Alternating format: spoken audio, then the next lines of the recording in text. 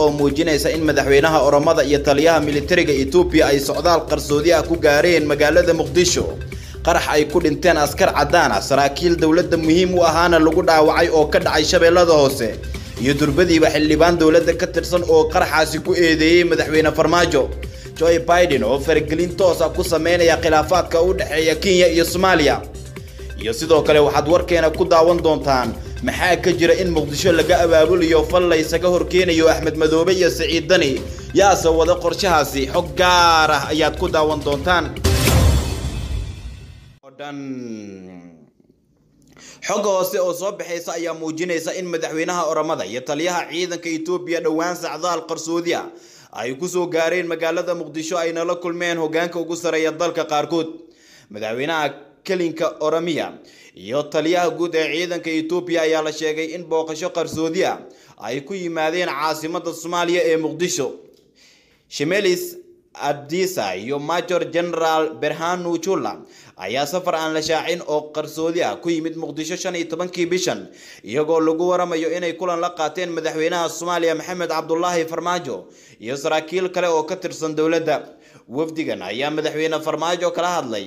Xaalada dalka doorashooyinka ciidamada etoobiya ka jooga soomaaliya iyo arrimo kale oo xasaasi ah weli safarkan qarsoodida ah kama aysan hadlin villa soomaaliya waxa uu salka ku hayay laakiin waxaa soo baxaysa in tuhun badan uu jiro islamarkaana etoobiya ay kala shaqaynayso madaxweyne maxamed cabdulaahi farmaajo in mar kale talada uu ku soo laabto waana arrinta ay ka didsan yihiin dhammaanba musharaxiinta madaxweynaha oo sheegaya in dowladda etoobiya iyo eritrea ay yihiin kuwo markaasi u gargaaraya madaxweyne farmaajo oo aan dhexdhexaad ka ahayn xaaladda ka jirta dalka qarax culus ayaa ka dhacay shabeellada hoose. Ciidamo caddaana iyo saraakiil soomaaliyeed oo dowladda lafdhabar u ahaa ayaa lagu dhaawacay iyadoona durbadiiba xildhibaan ka tirsan dowladda federaalk soomaaliya qaraxan uu ku eedeeyey inuu soo abaabulay madaxweyne farmaajo wararka laga helayo gobolka shabeellada hoose ee koonfur galbeed soomaaliya ayaa sheegaya in qarax xoogan deegaanka tixsiile lagula eegtay kolonyo uu hogaaminayay gudoomiyaha gobolkaasi cabduqaadir maxamed nuur cd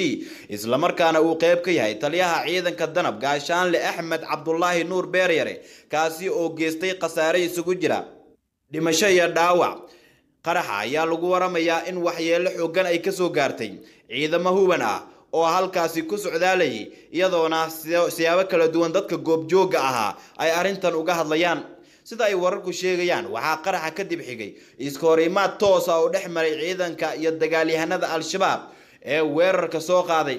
Warar hordhaca oo laga helayo khasaaraha ka dhashay weerarkaasi ayaa sheegaya inay ku dhinteen ugu yaraan askar caddaana iyo kuwa soomaali ah oo hal askari lagu sheegay askarta soomaalida ah.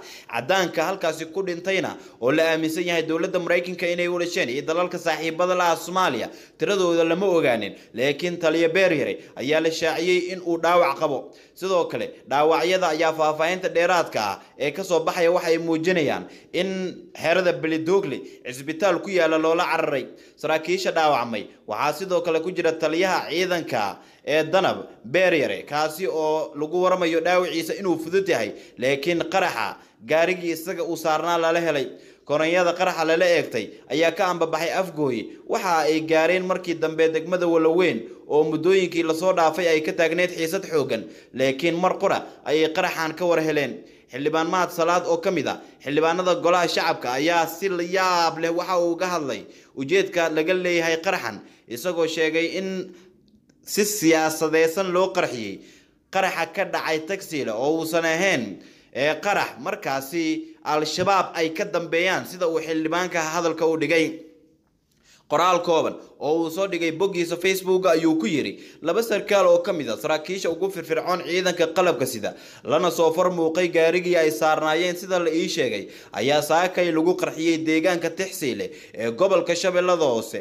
Dhaawac culus ayaa soo gaaray ee allaha u boogaydheeyo intii ku dhimatayna allaha u naxariisto ehladooduna samar iyo imaan allaha ka siiyo.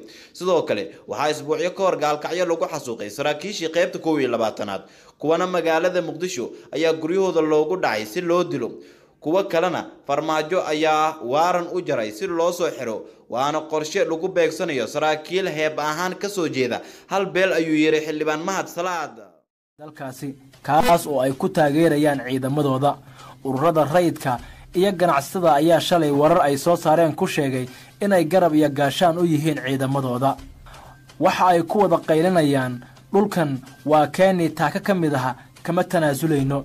Arrimahan ayaa ku soo beegmaya xilli midnimada gudaha etoobiya laga dayrinayo. Bulshada dalka suudaan ayaa taageero u muujinaya howlgalka suudaan ay ka wada xadka. Abaadulaha ciidamada suudaan jenaraal cabdifataax al burhaanu ayaa waxba kama jiraan ku tilmaamay eedeymaha etoobiya ee sheegaya in kooxa saddexaad ay dabada ka riixayaan. Waa dood raqiis aha oo aan la qaadan karin ayuu yidhi xilli uu warbaahinta la hadlayey waxa uu sheegay in dagaalka etoobiya ay bilowday islamarkaana muddo badan dulqaad ay muujinaysay suudaan. Erayadan ayaa u muuqda kuwo lagaga jawaabaya hadalkii taliyaha ciidamada etoobiya burhaanu julla. Hadalladiisii waxaa ka mid ahaa jenaraal cabdifataax al burhaanu indhaha ayaan ka soo saaraynaa. Jenaraalku waxaa kale oo uu ka warbixiyey safarkiisii adhisababa ka hor dagaalkii waqooyiga etoobiya waxa uuna sheegay in abiy axmed ay isku afgarteen in la xidho xuduudka islamarkaana cid hub sidataa aysan ka soo gelin kana bixin xadka taliyaha guud ee ciidanka suudaan ahna madaxweynaha suudaan cabdifataax al burhaanu oo kula hadleeya warbaahinta caasimada dalka suudaan ee khartuum ayaa ka hadlay arrimo badan oo ku saabsan colaadda suudaan iyo ethoobiya hadalladiisana waxaa ugu muhiimsanaa suudaan ma doonayso in dagaal ay la gasho waddamada dariska ah wax dan ahna kama laha dalka etoobiya oo daris aan nahay.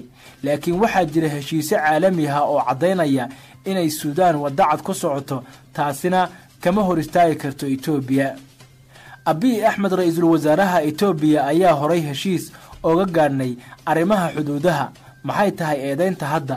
Malaha dhinaca caafimaadka ayuu wax ka qabaa ayuu yidhi jenaraal cabdifataax ciidamadeenna suudaan waxa ay diyaar u yihiin in ay sugaan amniga dalka ilaaliyaan nabadgelyada qaranka. Waxaan maqlay dad leh alfashaaga etoobiya ayaa leh. Waa wax cusub una baahan inaan ka hortagno shacabka iyo dowladda suudaan oo isku duuban waa inay u istaagaan sidaan u difaaci lahayn dhulkeenna. Taaka dhul aha oo aan leenahay cid kale inay qaadato uma oggolaan doono. Haddii ay jirto cid ku riyoonaysa in dhul suudaan ay leedahay ay nabad ku qaataan ka hor arrintaasi waa inay annagana aasaan dalka koonfurta suudaan ayaa wada dadaallo ay ku sheegeen inay ku dhexdhexaadin doonaan etoobiya iyo suudaan dhinaca kale ra'iisul wasaaraha dalka suudaan cabdalla xamduug ayaa ka hadlay xiisadda kala dhexaysa etoobiya isaga oo taageeray ciidankiisa islamarkaana caddeeyey mowqifka dalkiisa ee xasaradda xadka. Ra'iisul wasaare xamduug ayaa yidhi waxaan si buuxda u garab taagannahay ciidamada qalabka sida ee ku howlan ilaalinta qaranka iyo weliba soo celinta dhulka maqan.